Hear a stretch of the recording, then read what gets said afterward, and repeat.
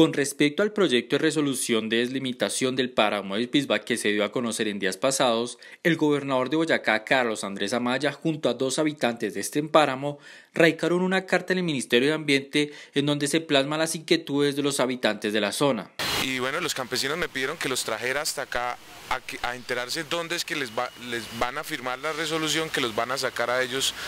del páramo y que por qué, si eso es de ellos desde que pasó Bolívar, porque por ese páramo eh, sucedió la ruta libertadora. Así que ellos iniciaron ayer su recorrido, hay que caminar un buen tramo, en caballo otro, en carro otro por supuesto, llegaron a la casa Matilda Naray, que recientemente yo tomé la decisión que fuera una casa para eh, alojar campesinos que vienen de lugares alejados, que eran anteriormente la casa del gobernador, pasaron la noche allí y esta mañana pues eh, llegaron aquí a Bogotá eh, para que podamos radicar una carta, el gobernador de Boyacá y los dos campesinos en representación de toda la población que va a ser afectada, eh, a venir a decirle al ministro que delimitación sí, pero no así. A nombre de mi pueblo vengo a reclamar nuestros derechos y, a reclamar que, se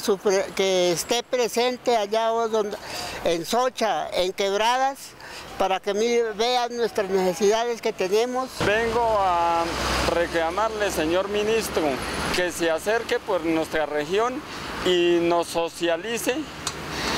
la delimitación del páramo de Pisba,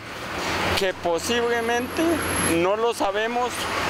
los campesinos podamos ser afectados en la delimitación del páramo. El mandatario de los boyacenses señaló que su posición siempre ha sido en defensa de la naturaleza y sus riquezas, pero también que los procesos que conllevan a decisiones trascendentales para la vida de miles de personas deben partir del diálogo, del conocimiento de los territorios y de la participación amplia y de la participación amplia y democrática de las comunidades.